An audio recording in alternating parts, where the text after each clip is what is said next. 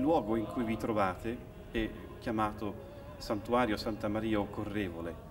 È uno dei luoghi particolari di questa zona del Piedemontese dove c'è la venerazione a un'immagine che fu ritrovata nel 1436 da un pastore. E Santa Maria Occorrevole è un luogo davvero particolare, prima di tutto per il suo isolamento, la solitudine e la contemplazione che si può ammirare grazie anche alla natura che contorna questo stupendo luogo.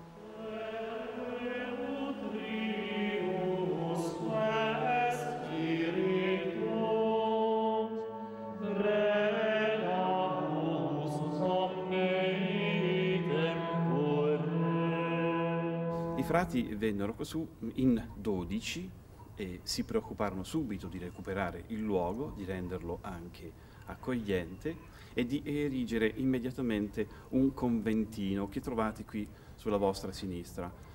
E questo convento è stato voluto proprio perché potesse esprimere anche la caratteristica dei francescani alcantarini, quello della povertà e della vita anche di ritiro, di preghiera e di contemplazione di vita fraterna.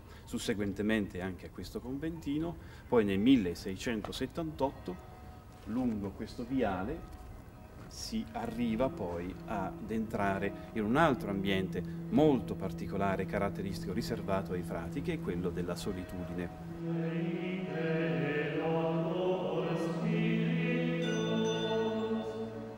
O beata solitudo, o sola beatitudo. Questa è un'espressione che colpisce un po' tutti quando arrivano qui, ma in modo particolare colpisce la fine di queste citazioni, che qui parla il verbo al cuore, entra chi tace perché so il silenzio e qui loquace.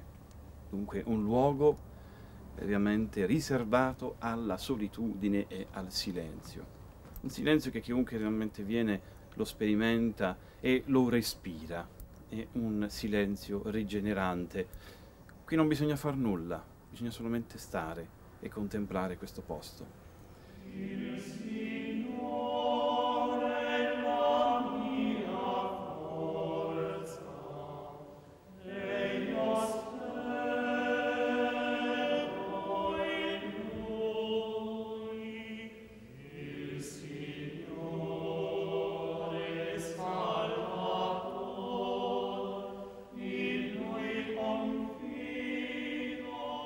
Troviamo adesso nel cuore, si può dire, del nostro convento. Nel 1678, qualche anno anche prima, i frati vennero quassù per costruire questo piccolo conventino. Vi posso garantire che è stato costruito da loro, con le loro mani, con il contributo di nessuno. Loro lo hanno voluto e lo hanno ricostruito secondo quello schema che si trova ad Alcantara. All'interno si possono vedere la Basilica Santa Maria degli Angeli, una piccola cappellina dove si vede un stupendo altare del 1700, dove vengono conservate le reliquie di tanti santi, di cui tre in modo particolare, Flaviano, Petronio e San Vincenzo. Una cappellina anche sulla sinistra dedicata alla Madonna della Purità, eh, dove spesso ci si eh, sofferma in silenzio per l'adorazione eucaristica.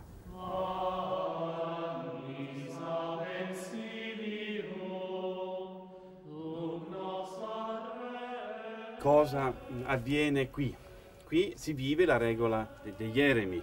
Noi, noi, frati francescani abbiamo due regole, la regola dei frati minori con 12 capitoli, una vita fatta di eh, fraternità, di minorità e di contemplazione di evangelizzazione.